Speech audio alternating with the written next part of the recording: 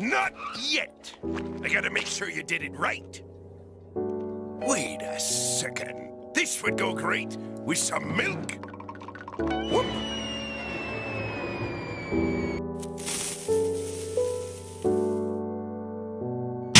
Ooh!